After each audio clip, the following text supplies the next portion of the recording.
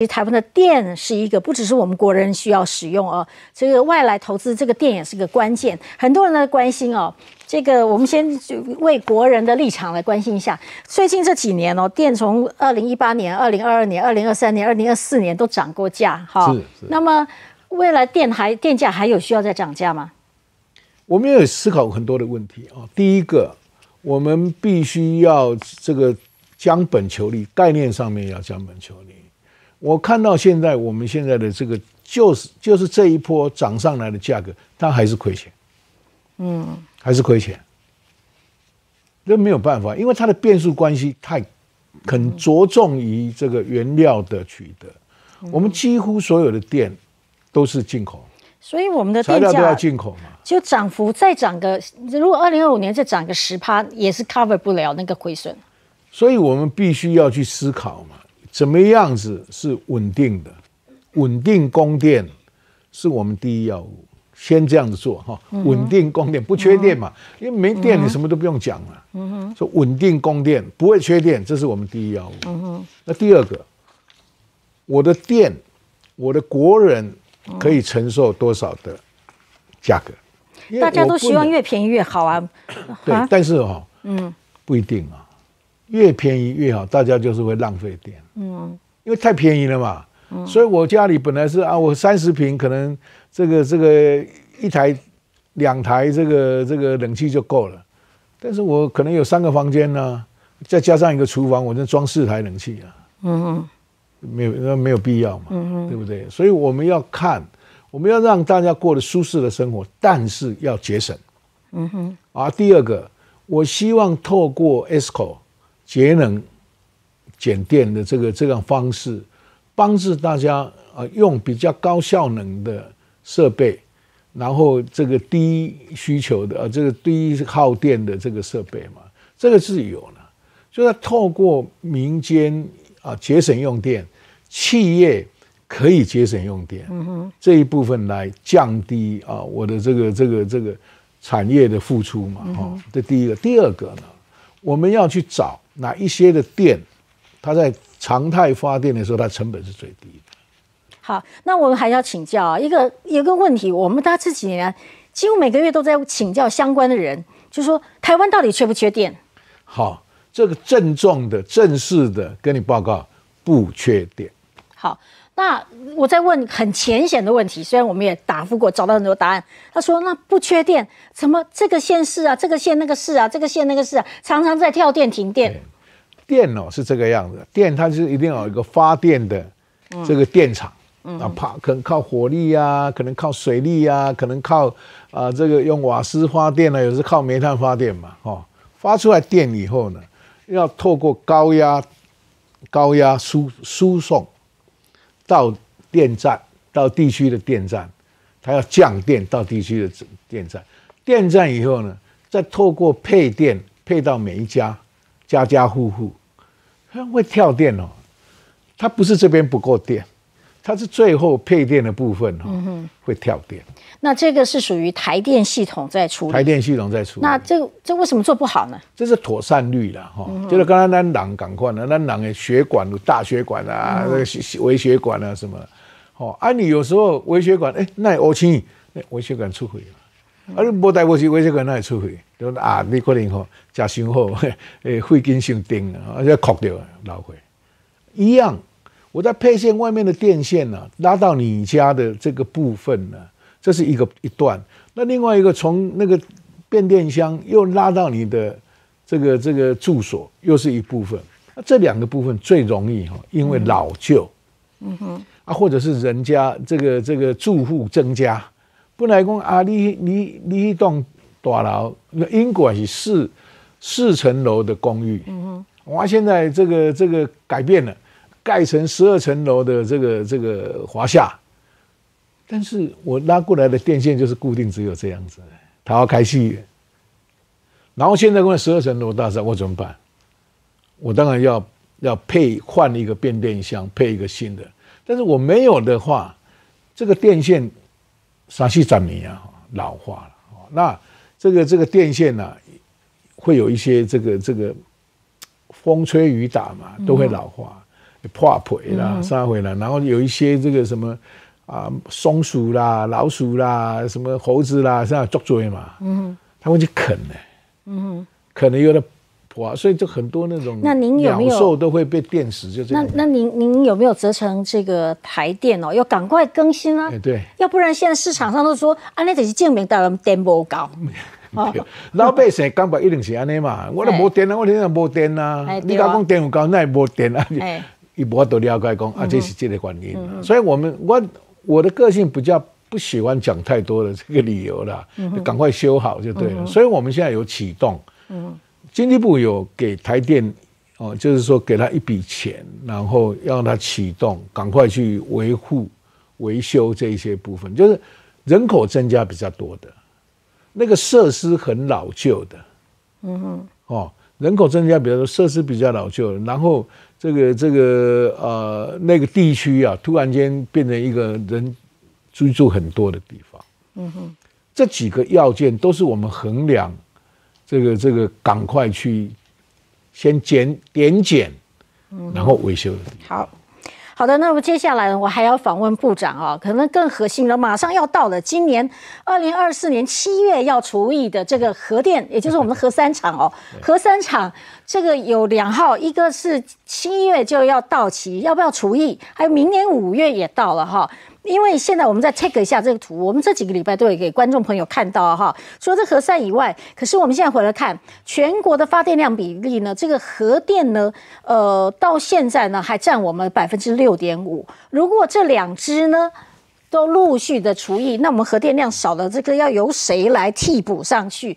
做得到吗？部长，这个问题，我想最近应该大家都在烦您这个问题吧？对对对，我想这个跟主持人报告一下哈。这个问题不是突然间发生的问题，所以台电呢，在我还没有是就任之前，人家早就准备好了，嗯，就上一任的时候就准备好。为什么？因为一个电厂的上下哈，就盖一座新的电厂，它要六年，嗯，所以当这个这边要下嘛，这边这个这个核电核二核三呢，他们会被这个下去是之前。五，他在之前呢、哦，就是呃几年前就已经决定要让他下，这是他在设置核电厂啊就下四十年，就是下，就是说全那个时那个时候设核电厂就讲说啊，这个跑四十年就要除役了，哦就要除役了，所以那个规范就这样。但是在几呃大概十几年前开始，有人在探讨说，哎。也许这个电厂可以继续用嘛，就好像一部车，虽然是开了四十年，但是状况都平常有在维修，它可能还继续可以用。所以就有其他的国家开始就讲，这个这个这个啊，你那边一楼你要先检查，啊，你要五年前都爱讲，五年前就要讲说啊，我要延役这样子。但是我们那时候定的规范也是这样的，就是说大概什么十十年前左右，我详细我不太清楚了哈，反正。我们现在才讲说啊，核三我们要不要？这已经不在这个五年的期间嘛，所以我们现在如果申请说，哎，我现在这个准备要延役，那我要五年前呢、啊？嗯，现在根本就是一年也来不及啊，有的是两个月啊，呃、怎么办？那怎么办？所以啊，我们的我们的法令下面有规定啊，我们就是一定要下去啊，嗯、就是说这个。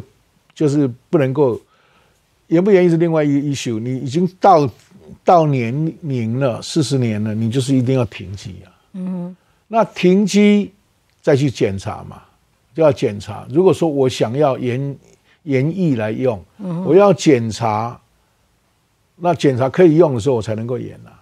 我检查不能用的时候，它还是不能够延，就是允允许你你延，但是还是不能用。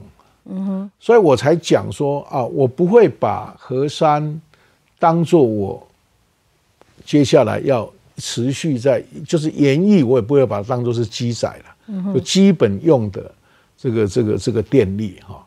我我现在意思就是说，刚好我们现在呃这个这个，但是现在这个非核家园是啊执政党的一个一个重要的指标嘛，嗯哼，所以我们当然就是。从过去到现在，就是准备就是核核力下来，核能下来的时候，我们还是有。那那您您核能下来以后要用什么电来？是用燃煤呢？我们这个全国比例现在最高，燃煤燃气加起来超过八成哦。那你要比增加这个比例，还是要增加再生能源？再生能源。现在能够增加再生能源吗？绿色再生能源。呃，那陆续到明年五月以前，要空出六点五趴的电力要由再生能源提供。没有，这忽然间没有没有没有没有，他之前就已经有规划替代的。啊哈，规划就已经有替代的。啊哈，替代的就是那个呃呃燃气的部分。啊哈，燃气的部分，燃煤是没有没有没有增加的。燃煤因为大家。要符合二零五零年的这个这个零碳嘛，所以不可能去增加燃煤的部分。那燃气，燃气大概就是它它能够发出来的这个碳啊，将来可以透过碳捕捉的技术了，让它没有碳了。啊，现在当然现在跟那个煤比起来，它可以降低差不多六成的这个碳哦，这是可以是不会说差太多啊。但是这个燃气的电啊，它是比较稳定的电。嗯哼，稳定的电，所以我们替代替代这个六 percent 的电，通常是用燃气在替代。哦，哦，啊啊，这个这个就是我绿能呢是备载的，就是哎，可能有需求增加的，但每一年可能需求两帕两两个 percent 的需求嘛，所以我们那个部分呢，全部都用绿电在支撑。啊哈，哎，大家讲说啊，你这只有用绿电，不是这些这些。因为它有那太阳光，你看这个夕阳就没有太阳光了嘛哈。那风力就是没有风也没有 没有力嘛哈。但这一部分我们可以透过厨电，我有厨电的这个电池啦，厨电。我在有有风有力有光的时候，我我就让它充满了。嗯哼。那这个下来的时候，我让这一边上来。嗯哼。用储储电上来哈。那人家讲说啊，你是怎么做？怎么可能？你这智慧电网。智慧电网。那目前智慧电网是哪些单位在做？我知道有部分的产业界也在做这个厨电的设备，他们觉得是未来的生意哦，没错，未来的机会。但是现在业界有哪些在正在做？还是都全部要由政府来主导呢？没有，没有，没有，没有，这个就是都是都大部分这些都是民间在做。嗯哼，民间在做。那您可不可以列举一下现在有哪些产业在做这些厨电的这一方？厨电蛮多的啊，就是以前在做电池的公司啊。哦，哎呀，哦，哎，他们就是做成厨电，他只是把电池做大，然后堆积这样。所以，所以以部长您所提到的说，我们现在可以不缺电，是因为我们每年的电的需求啊，就差不多两帕三帕的成长率在成长。两，哎，过去但是一点八帕在算了。一点八帕，但是现在政府的规划就是用绿能逐年每年增加两帕三帕的这这个成长率，对未来的 cover 新的需求。因为我们现在在看，就是说，因为 AI 嘛，suddenly 可能会要求电很多，那没有人会知道啊。我经常跟我的这个同仁在讲，我说吼，我们现在正处于一个非常尴尬的时代啊，哈，嗯，大家回想一下过去台湾，因为台湾的很多的业者都是一窝蜂，嗯嗯，一窝蜂。所以当初在设立银行的时候，哒这么多银行出来啊！大家在设立这个大学的时候，哒一大堆大学出来，但是到后来没有那么大的需求，怎么办？嗯哼，我现在的电力啊，我也在怀疑嘛。嗯哼，设计数据中心也好，设立这个这个这个超级电脑也好，会不会这样子？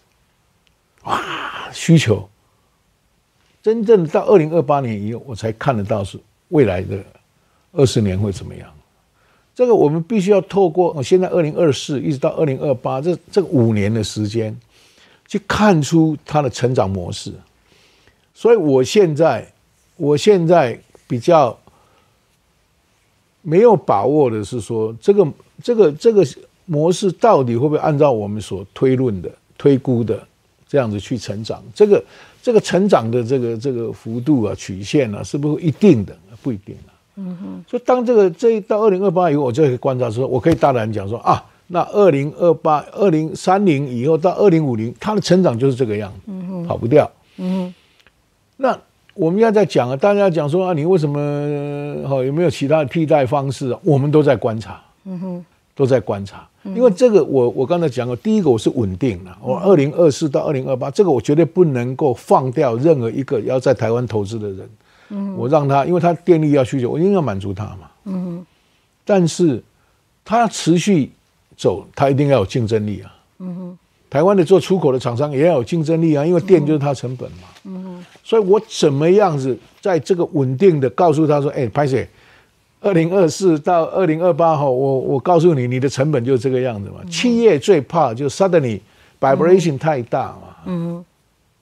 啊，如果我告诉你五年内、四年内大概你的成本就这样子的话，它绝对有办法具有竞争力。第二个，我的电力只要比日本、韩国。便宜比新加坡、日本、韩国、新加坡便宜，嗯，或者香港，嗯，这个都是我最主要的竞争，亚洲竞争的这个国家嘛，我就比它便宜，它就有竞争力啊，嗯哼，哦啊，我就说啊，超级贵，比这几个国家都贵，那表示我这个这个经济部长是没路用。